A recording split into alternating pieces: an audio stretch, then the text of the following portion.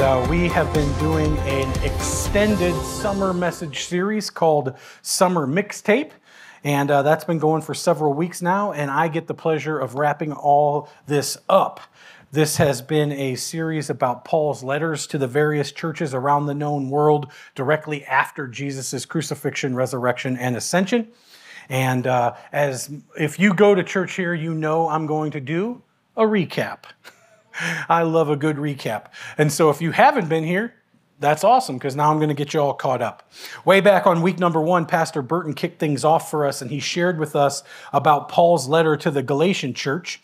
And the main point of the message was that Christ has set us free and that we are no longer bound by the yoke of slavery to the law. Amen? Then on week number two, I shared about uh, Paul's letter to the church in Ephesus, and the main idea that we wanted to get across on that week is that Christians are to be filled with grace, peace, and love until they overflow and spill out onto the people around them. And uh, being filled with grace and peace and love and patience and all that sort of thing will have a profound uh, effect on the people around us. You know, those people in your life that are in the splash zone, if they experience love and grace and peace and mercy and all of that stuff, it's going to make them know something's different about you. And then when you share the gospel, you share the good news uh, of Jesus to them, it's going to make uh, your presentation much more effective. Um, how many of you guys know that if someone's grumpy and mean and negative, you don't care what they have to say? Usually. Uh, week number three, my son Josiah shared about Paul's letter to the church at uh, Philippi. He discussed uh, choices and prayer and conflict and peace and how believers should rejoice in suffering while they're serving as well as during times of strength. And uh, believers can rejoice in Christ no matter what's going on. How many of you guys know that we don't have perfect lives, that uh, things go sideways, that we hit speed bumps?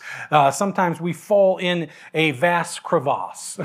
uh, sometimes you don't just get off the trail, you get way off the trail, right? Things go wrong, things explode, things go bad. But we can survive and make it if we are in Christ and Christ is in us and we are with Him. Uh, my mom who uh, has served the Lord my whole life, uh, she always says, if it wasn't for Jesus, uh, it would have all been over a long time ago. And uh, I know that's true for me. I've, I've been up against some hard stuff in my life. And if I didn't serve the Lord and I didn't have Him in my life, I know that I would have given up a long time ago. And so we need to make sure that we are rejoicing in all things because no matter what, if He is with us, that's enough. Uh, week number four, I spoke about Paul's letter to the Colossian church. And the big idea of that message was that when we know who we are and who we follow, we will not be easily fooled. And the application or the challenge or the action step that we had that day was spend time understanding your identity in Christ so that you can identify false teaching and know that you know that you know who you are in Christ and walk in that identity. How many of you guys know that there's a lot of people out there trying to trick you?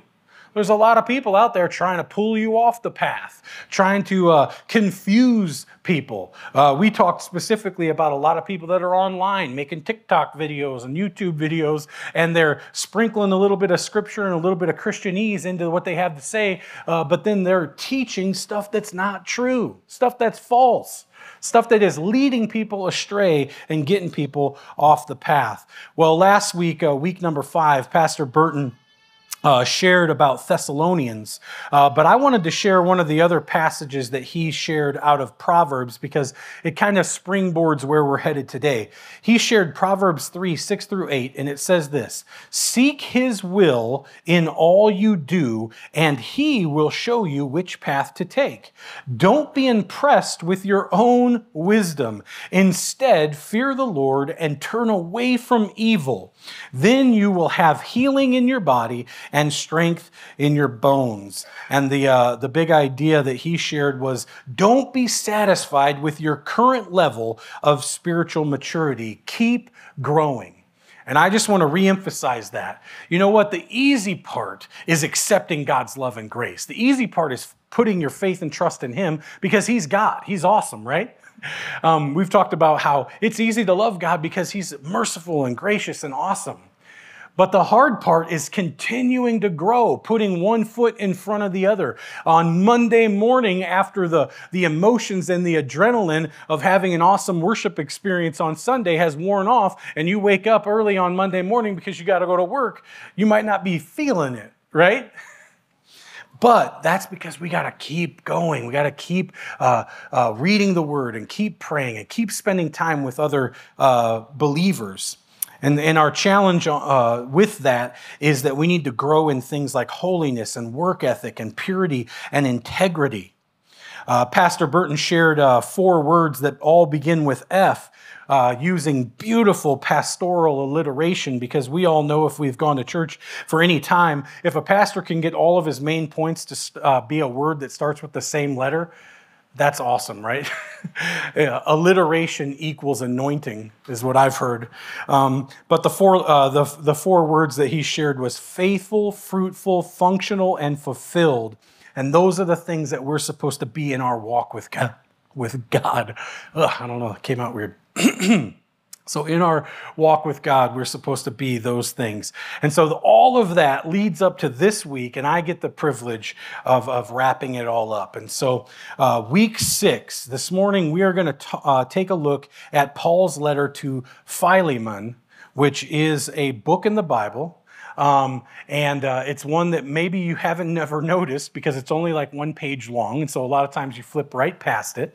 Um, but this is also a little bit different than the other letters that we've looked at so far in this series because this letter goes to a person, not a city. All those other uh, letters went to a city that was supposed to be distributed and taught to the churches in that city. And this is going directly to a person who was uh, hosting a house church.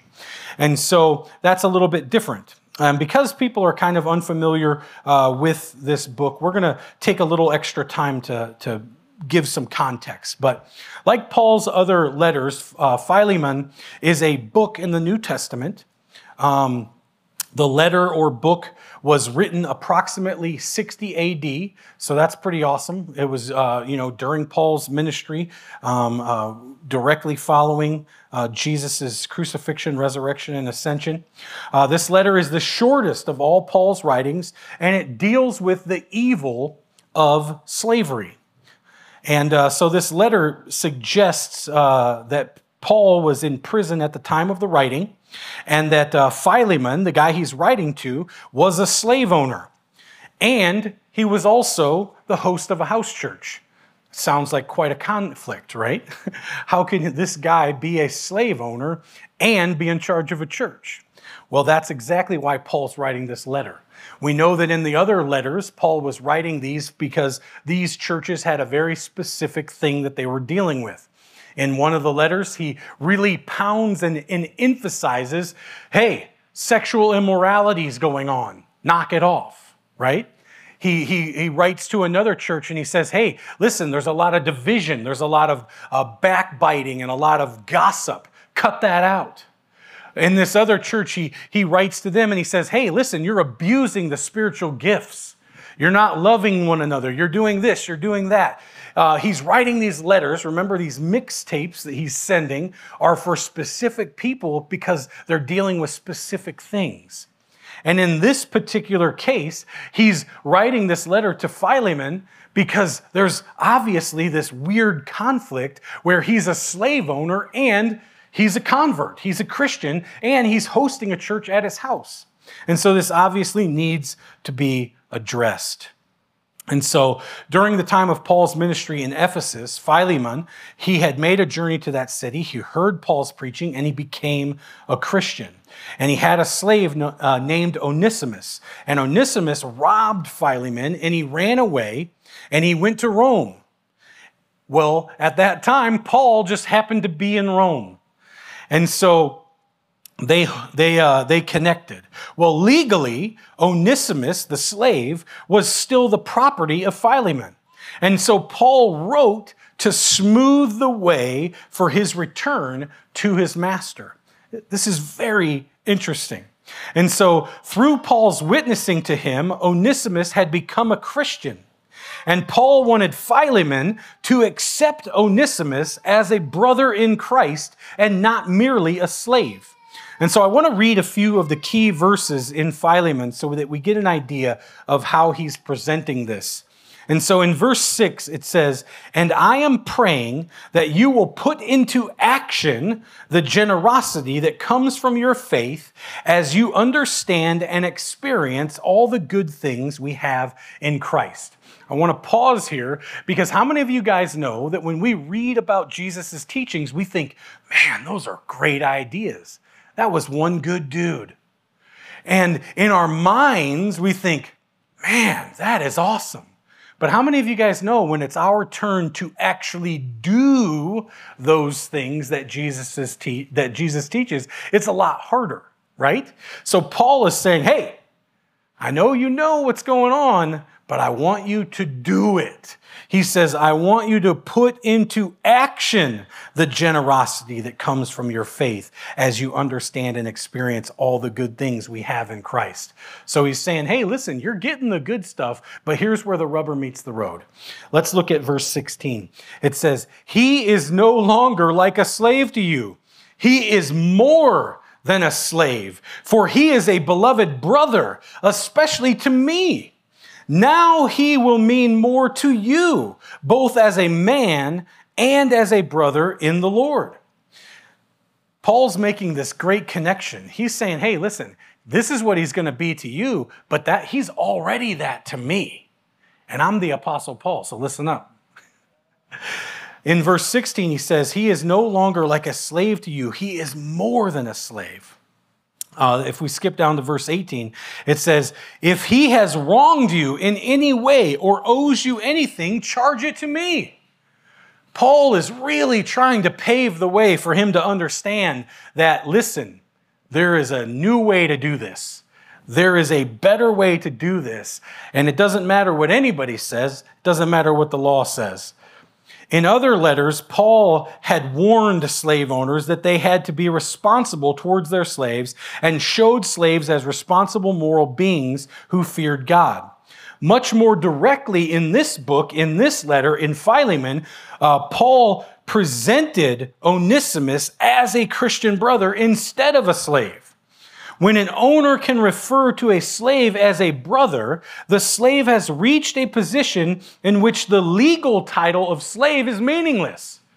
There's something bigger than the law. It doesn't matter what the Roman Empire says. It doesn't matter what, what the soldiers say. It matters what God says. It matters what Jesus says. Now, the early church did not attack slavery direct, directly, but it laid the foundation for a new relationship between the owner and the slave. It's kind of like many social issues that we're dealing with today. Sometimes there's not much we can do about what the law says, but what we can do is change people's hearts. We can tell them there's something bigger and better than what we've come up with, what the world has come up with, what man has come up with. There's some better ideas and they come from God. Paul attempted to unite both Philemon and Onesimus with Christian love so that uh, emancipation would become inevitable. If a heart is changed, it doesn't matter what the law says or what human thoughts we come up with. If we can be talked into something, we can be talked out of something. But if our heart is transformed, then real change happens. Only after the exposure to the light of the gospel could the institution of slavery truly and completely die. And that's why we see even today it pops up on every continent, all around the world, because it's a heart change that has to take place. It's a transformation in who people are, not just what people think. Perhaps nowhere in the New Testament is the distinction between the law and grace so beautifully portrayed. You see, both Roman law and Mosaic law of the Old Testament gave Philemon the right to punish a runaway slave who was considered his property.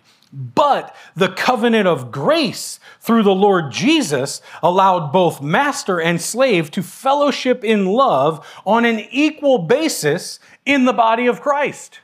because God's law is higher than our law. God's law is more important than man's law. For us, that means employers and political leaders and corporate executives and parents can follow the spirit of Paul's teaching by treating Christian employees, coworkers, and family members as equal and important members of the body of Christ. Christians in modern society must not view helpers or subordinates as mere stepping stones to help them achieve their ambitions. As Christian brothers and sisters, we must receive uh, and, and distribute gracious treatment, equal treatment to all people. In addition, all Christian leaders must recognize that God holds them accountable for the treatment of those who work for them or under them whether they're, they're uh, whether the helpers are Christian or not. I mean, how many of you guys uh, deal on a daily basis with people who are not a part of the body of Christ, but we're still called to love them? Amen. They must eventually answer us, leaders, people, Christians. We must eventually answer for how we treat other people. Paul writes in Colossians 4:1, "Masters, be just and fair to your slaves. Remember that you also have a master in heaven."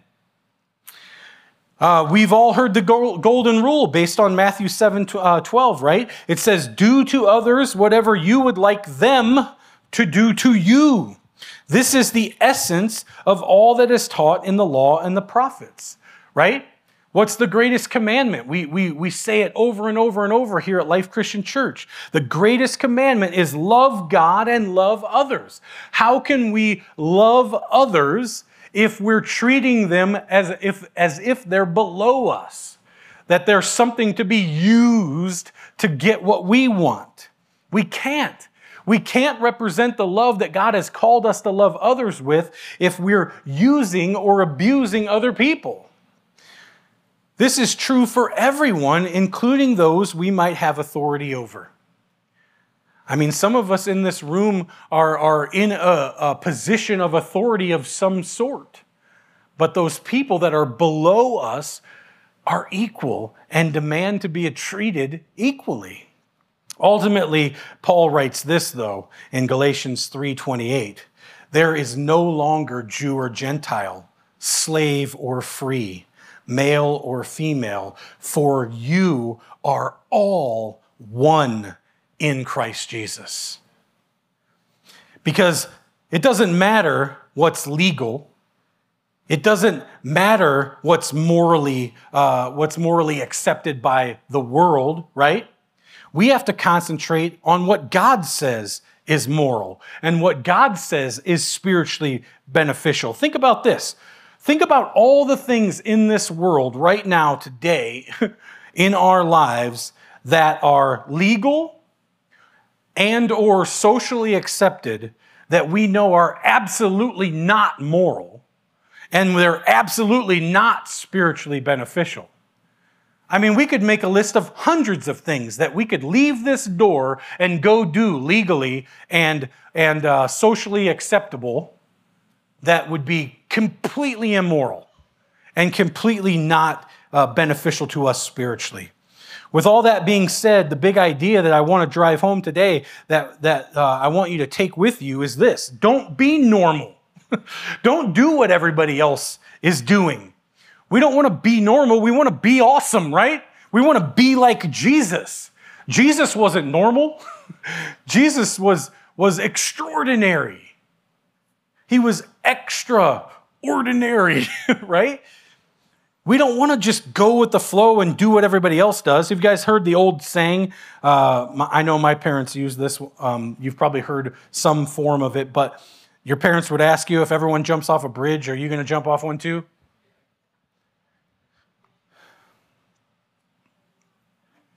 It still, it still applies now that I'm an adult. If everyone else is doing it, do I just do it?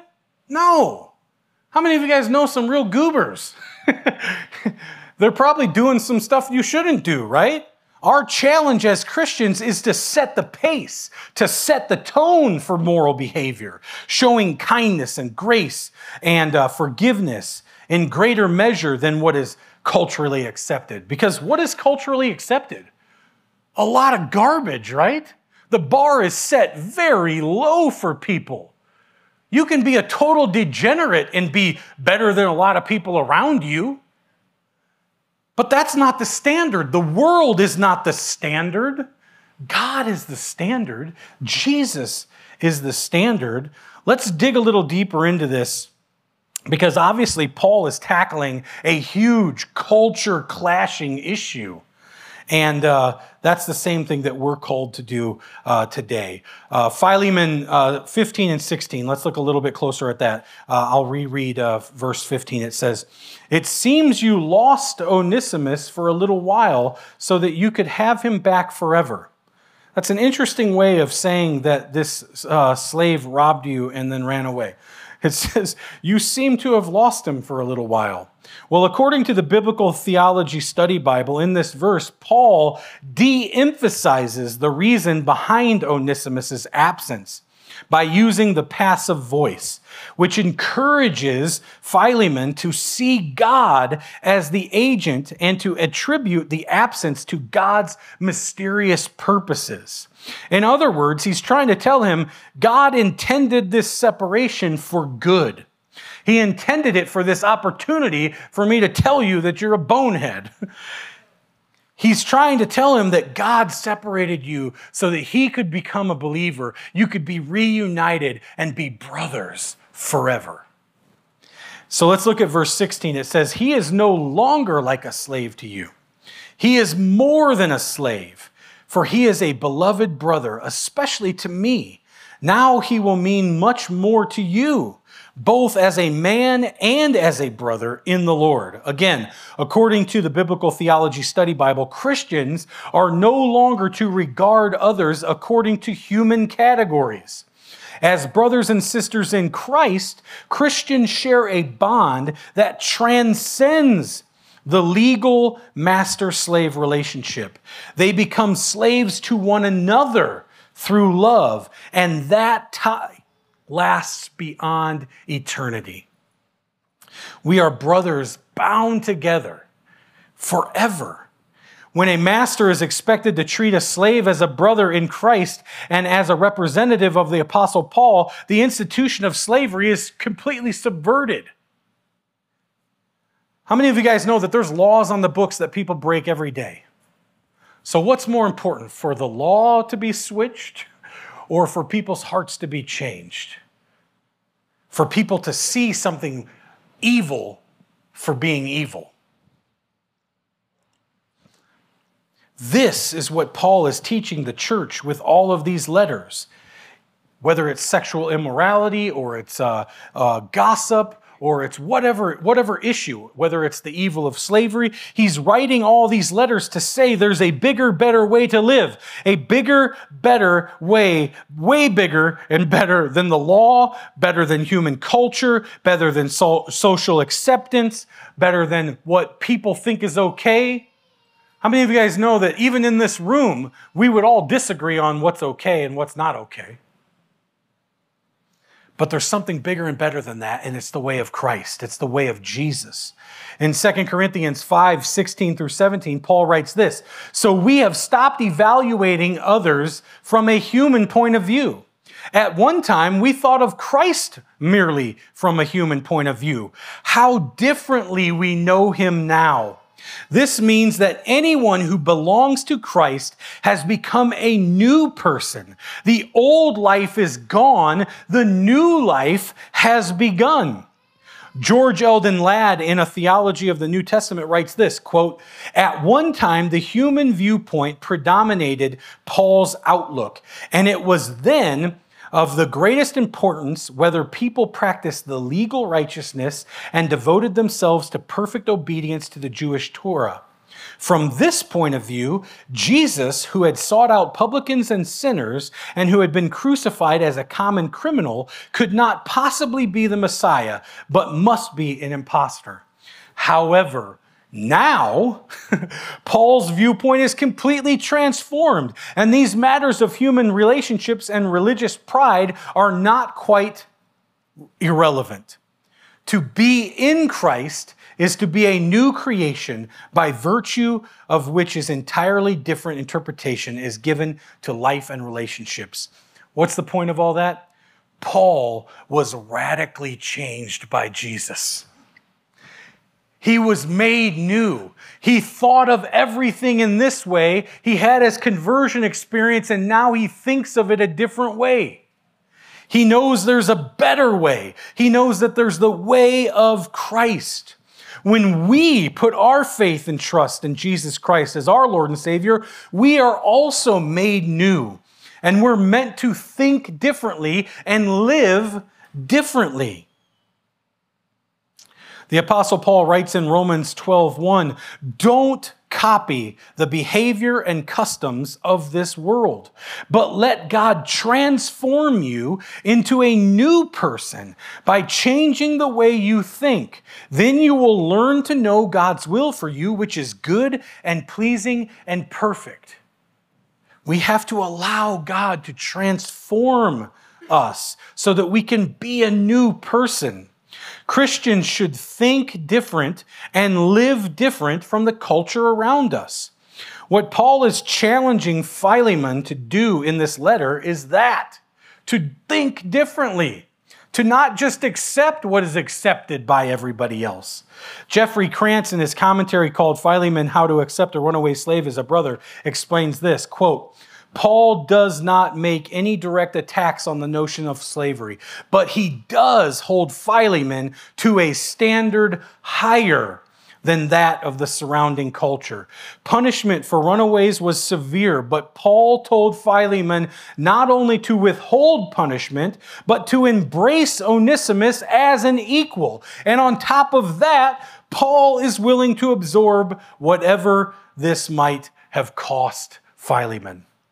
Philemon is proof that God isn't just concerned with our good behavior and humility in relationship with Him. He is also concerned that we go above that which our culture expects.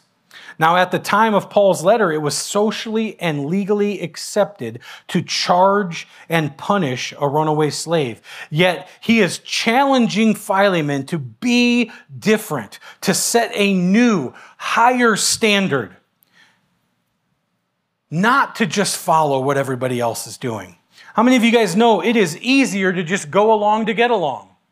It is easier to just go with the flow. It's easier to just do what everybody else does. But oftentimes that's not the right thing. That's not the higher thing. That's not the way of Jesus. We are called to something much bigger and better than what this bent and broken world has to offer. We need to not be normal, but to be awesome, to be like Jesus. We were born again and made for a new purpose, a new reason. And so we need to set the pace and tone for the moral behavior by showing kindness and grace and forgiveness in greater measure than what is culturally, culturally expected. Because how many of you guys know that the cultural bar is set very, very low? We should, we should be blowing people's hair back with our kindness and our love and our grace and our forgiveness and our patience. People should be blown away by our lives because we've embraced a higher way, a better way, the Jesus way. Before I close this message with prayer, I want to very briefly explain how this happens. Like, what does it mean to put your faith and trust in Jesus Christ, to be born again, to be made new, to be saved? What it means to be a Christian or a Christ follower? How do I get to a place where I've been made new, where I've been transformed, where I am ready for this bigger, better life and purpose that Christ offers? Well, I, I want to explain it as simple as possible. And that is that in the very beginning, way back in the day, God created us to be with Him. He created us in His image and He created us to be in relationship. But unfortunately, as we often do, we messed it up, right? We chose ourselves over God and sin separated us from Him. And unfortunately, the bad news, before we get to the good news, is that there's nothing we can do about it. on our own, we can't fix it. We can't put our, our lives back together with God. We can't do enough good to, to tip the cosmic scales. We can't do one more good deed over the bad deeds and make it right. The only thing that could fix it was that, that Jesus came and paid the price. He paid the price for us and then he, he rose from the dead, which proved that it was all true. If he would have just died, that would have been the end. But he didn't. He rose again to prove that there's life after death. He paid the price for our sins. He rose again. And everyone who puts their faith and trust in them, in him, will be saved. You'll have eternal life. And the, and the best part of that is that that eternal life begins as soon as you make that decision. That's the easy part, right? The easy part is, is the God part because he's God and he's awesome. And he does the, the amazing part of making us new. The hard part is taking that next step getting up on Monday morning, like we described earlier, after, after the emotions have worn off and it's time to face life. But there's a big difference. You might have to go to the same job. You might have the same crummy boss. You might have the annoying coworker. Your family situation might not be uh, what you hoped and dreamed it would be. But the difference is that now God's with you.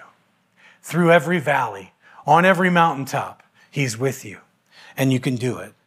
Uh, Romans 10 9 says, um, if you openly declare that Jesus is Lord and believe in your heart that God raised him from the dead, you will be saved. So, if there's anybody in this room right now, you've never said a prayer like that, you've never acknowledged Jesus as your Lord and Savior, you never uh, put your faith and trust in him, you can do it right now. And I'm not going to have you repeat anything after me. I'm not going to have you raise your hand or come up forward or anything like that. I want it to be from your lips to God's ears. I want you to say it in your own words, but I want you to say, I trust that you died for my sins, that you rose from the dead, and I believe that it's true, and I want to be saved. I want to be born again. I want to pursue that life of something bigger and better than what this world has to offer. And I want you to just go ahead and do that when we pray.